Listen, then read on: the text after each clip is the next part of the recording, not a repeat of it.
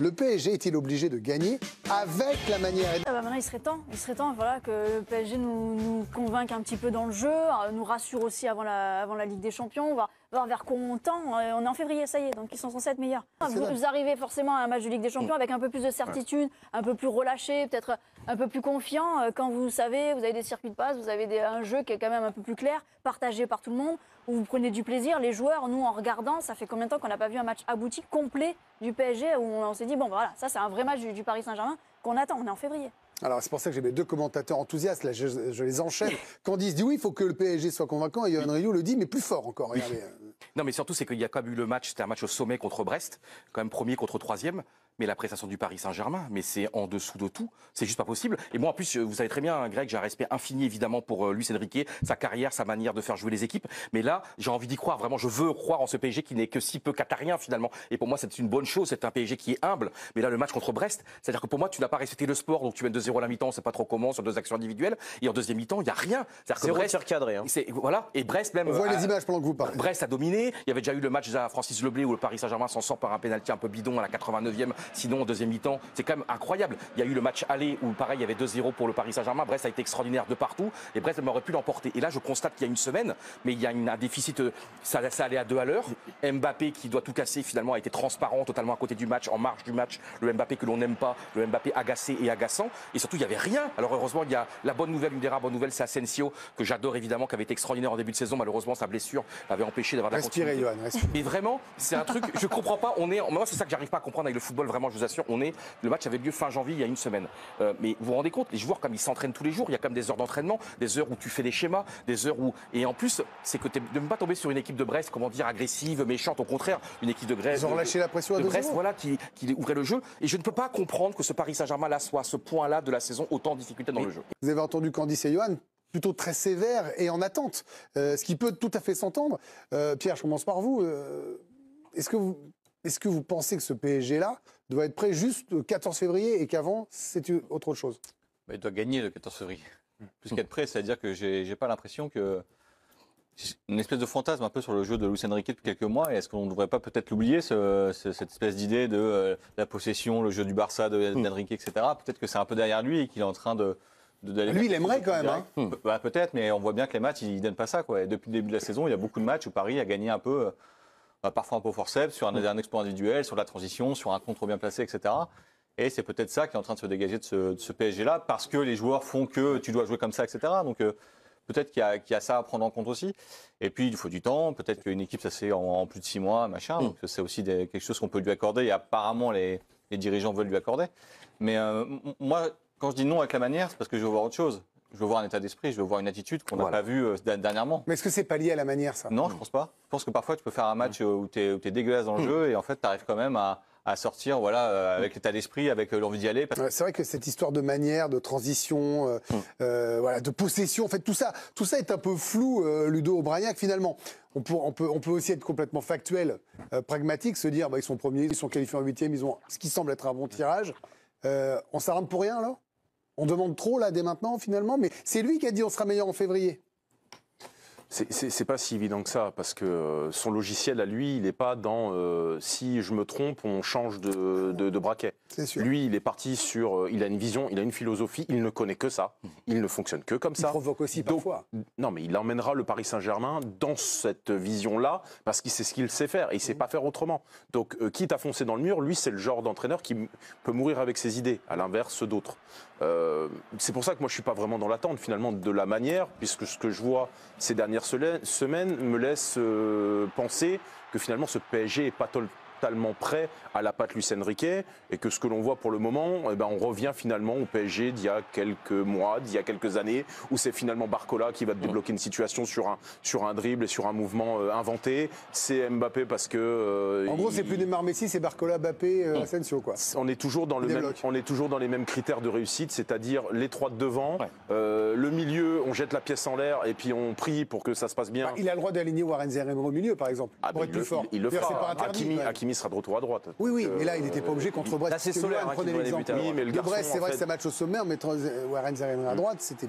C'est sûr que c'est lui donner des repères avant un match important. Euh, c'est pour ça que j'ai abandonné l'idée en fait de la manière. Je, principalement gagner pour continuer à avoir votre avance en championnat, avoir l'esprit libre, pour jouer ce match-là, qui sera un match terrible. Ça va être difficile ce match contre la Sociedad. Maintenant, euh, voilà, la manière, le Real, il joue pas toujours aussi excellemment euh, à, chaque, euh, à chaque grand rendez-vous. Ça ne leur empêche pas de, de- de passer les tours. Giovanni, vous êtes plutôt d'accord avec l'analyse de Ludo euh, sur ce qu'il vient de dire Vous n'attendez pas grand-chose de la manière. Je vous vois d'émission en émission répéter sur mon plateau ou le soir euh, dans le DS que finalement, il a, un, non, mais il a un effectif pour jouer la transition et lui, il veut jouer la possession. Donc, euh, il en incorpore au fur et à mesure et ce sera bon qu'en août prochain, quoi, grosso modo, son, son- sa possession.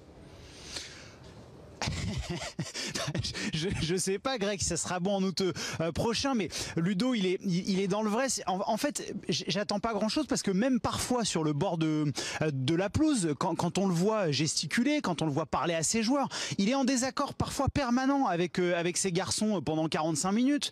Euh, je, je vais pas vous refaire les scènes de, de Newcastle, Paris Saint-Germain, où là, entre Marquinhos et, et Luis Enrique, il y avait eu des, des sommets, puis ça avait amené à la, à la cagade du capitaine brésilien avec cette relance cataclysmique euh, du pied gauche. Il y a les scènes aussi à Lyon où euh, quand il y a un but sur une relance de, de, Lucas Hernandez, ça va très vite et lui est pas content. Euh, il rebelote face à Lens, on sentait que les joueurs, mais là vraiment à Lens c'était criant, où ils partaient vite dans les espaces, ils s'engouffraient parce que c'est agréable de jouer contre Lens. C'est une équipe qui ouvre, c'est une équipe qui joue.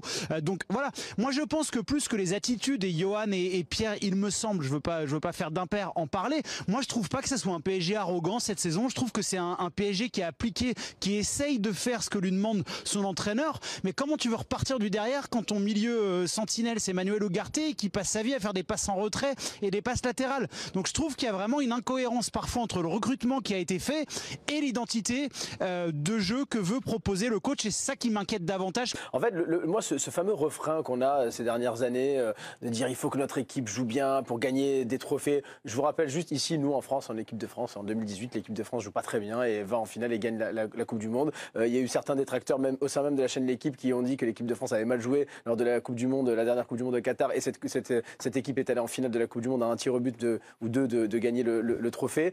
Euh, en Ligue des Champions, on se souvient pas de la manière de Chelsea quand Chelsea l'a gagné avec Tuchel. Arrêtons on se jouer, souvient pas euh, de l'Inter qui a atteint la finale l'année dernière. Non, c'est pas arrêtons de jouer. C'est-à-dire qu'en fait, ce qu'on demande au PSG, c'est de gagner un trophée. Ce trophée qui fuit le PSG depuis que les Qataris ont acheté le club. Je pense que si à la fin de la saison, le PSG passe par un trou de souris pour gagner cette Ligue des Champions, tout le monde criera au génie. Alors que si le PSG joue très bien et se fait sortir en demi-finale, on parlera encore une fois d'échec. Donc en Oui, fait, mais là, c'est parce que Luis Enrique lui-même. Luis Enrique lui-même, on finit par ça à dire, on sera Mais plus fort parce qu'il peut pas, il va pas aller en conférence de presse en disant euh, en Mais il est très il est mal, suffisamment intelligent, mal, expérimenté. mais on, on essaiera de passer. Non, il, il est obligé Il de dire expérimenté, il peut tout à fait dire la partie de la, premières phases a été dure, mais on a déjà vu des équipes Mais passer Mais difficilement il, et rend des, il sortir. rend des comptes à son patron, donc mais il est aussi obligé de dire oui, parce que le PSG est devenu une marque aujourd'hui. On va au stade comme on va au théâtre. Mais Donc peux c'est pas- aussi pour justement, ça. il faudrait arrêter ça. Mais je me permets, Marc, euh, Karim, c'est que justement, il y a un moment donné, il faudrait que le, il faudrait que le Paris Saint-Germain, oui. justement, on est quand même en droit de demander à ce Paris Saint-Germain qui depuis 10 ans de dépense des milliards, qui est quand même comme qu'on ait quelque chose à voir. Comme, je te comprends évidemment que si on lève Il y a la eu des périodes sympas quand Oui, même. mais hein. a- On va pas voir un match dur, mais hein, là, quand comme même. cette saison, on a, on est, moi j'ai envie de voir du jeu. J'ai besoin de voir du jeu. Je peux pas seulement me. Mais en fait, est-ce que c'est- les trophées Est-ce que c'est pallié Et on termine là-dessus. personnellement, je vous pose la question. Est-ce que c'est pallié cette question et cette attente? D'abord, à Luis Enrique lui-même, qui a bien fait jouer ses équipes avant, alors même si parfois c'était trop de possession, mais parce que depuis deux ans et demi, Pochettino et Galtier, alors en dehors de la période pré-Coupe du Monde, Hmm. bah, le PSG euh, jouait mal et on se disait mais- c'est pas terrible. Est-ce que c'est pas lié au passé? Non, mais certainement. Mais quand Parce qu'on se rappelle plus d'Ibra, on si se on rappelle plus tout ça. Hein. ou Karim, on, on sent surtout de la déception. En fait, vous n'attendez plus rien de ce PSG. En fait, il y a un dénominateur commun à, à tous ces entraîneurs et toutes ces années. C'est depuis trois ans, le PSG ne sait pas récupérer un ballon. Si vous regardez les stats de pressing et de récupération haute du ballon, vous regarderez Liverpool, vous regarderez City, vous regarderez tous les cadors euh, européens qui jouent les, les troubles faites, vous verrez les, les- les pourcentages de récupération de balles Ouais, et vous verrez celui du Paris Saint-Germain. Quand Brest vient au parc et fait des séquences Et de voilà. jeu à plus d'une minute, Ouais, deux ça. minutes, et ben vous pouvez pas avoir le ballon et vous pouvez pas en Et faire Ludo- quelque chose de Ludo- créatif. Et le PSG de Voilà. Laurent Blanc jouait extrêmement bien. Mmh. Franchement, je trouvais que c'était un super jeu avec Mota, notamment la récupération. Mais aujourd'hui, je dis pas que c'est obsolète et que les supporters s'en souviennent plus, mais presque. C'est-à-dire que ça n'a pas gagné la Ligue des Champions. Ça s'est arrêté en quart de finale, terminé. Et, et- et en fait, au palmarès, il y a toujours marqué néant Non. quand on parle de la Ligue des On est un Champions. peu nostalgique de Thiago quand même. Ça Oui, c'est vrai. changer. Regarde, il y a d'autres clubs. Finis euh, avec vous, Pierre. Non, mais par exemple, il y a- il y a, d'autres clubs où quand tu gagnes pas, il y a quand même des saisons. Par exemple, tu prends Marseille.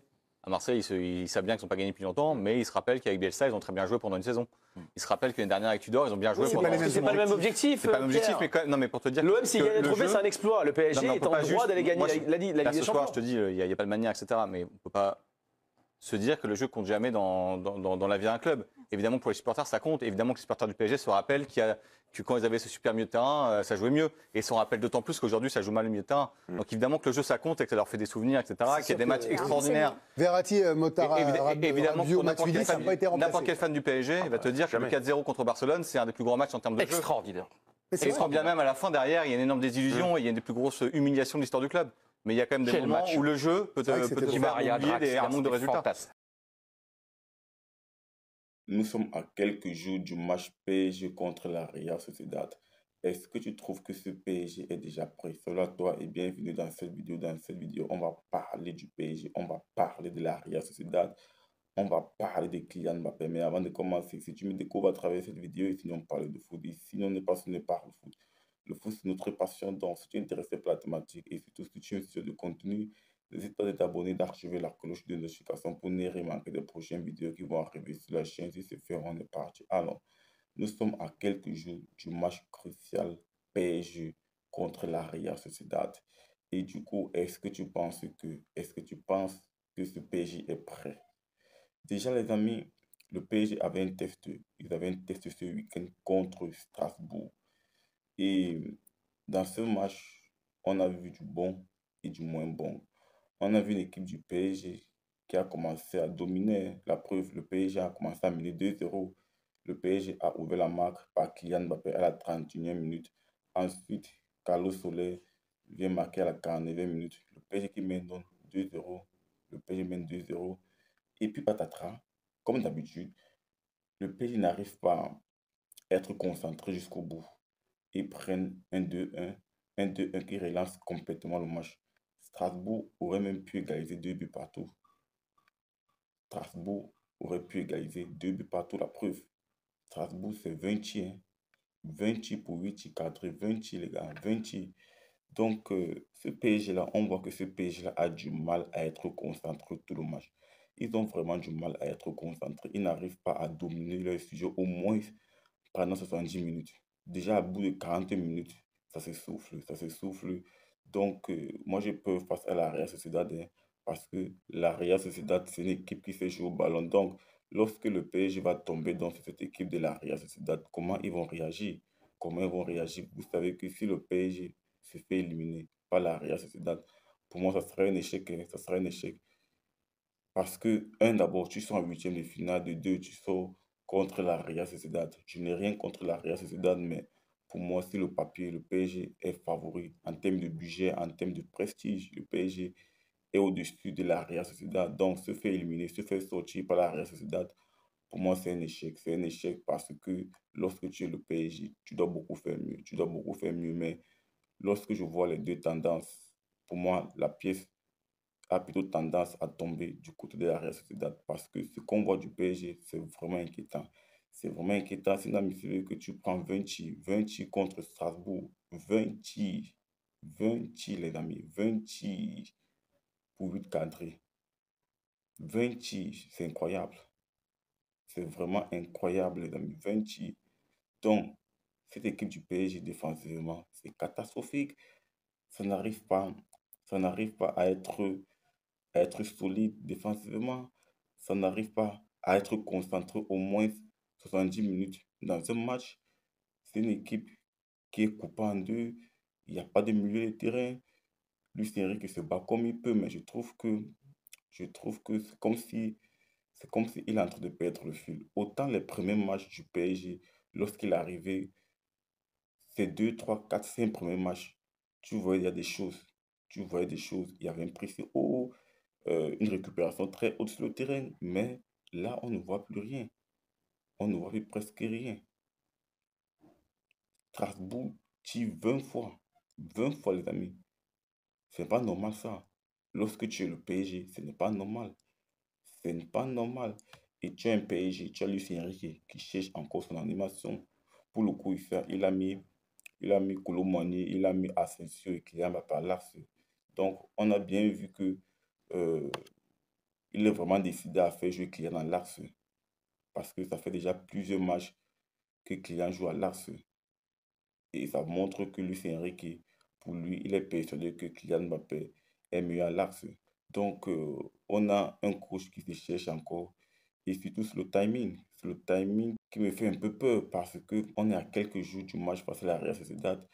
Et Luis Enrique n'a pas encore trouvé son schéma tactique. Il n'a pas encore trouvé euh, l'équilibre parfait. Ce PSG-là, ça concède encore beaucoup d'occasions. J'ai bien peur que ça ne puisse pas passer face à la Real Sociedad. Après, partage-moi ton ressenti en commentaire par rapport à la thématique. Est-ce que tu penses que ce PSG-là, malgré ses lacunes, ça sera suffisant contre la Real Sociedad Dis-moi tout et si ce n'est pas encore fait, n'hésite pas à t'abonner, d'activer la cloche de notification pour ne rien manquer des prochaines vidéos. On se dit à très bientôt pour notre vidéo les amis. Ciao, ciao.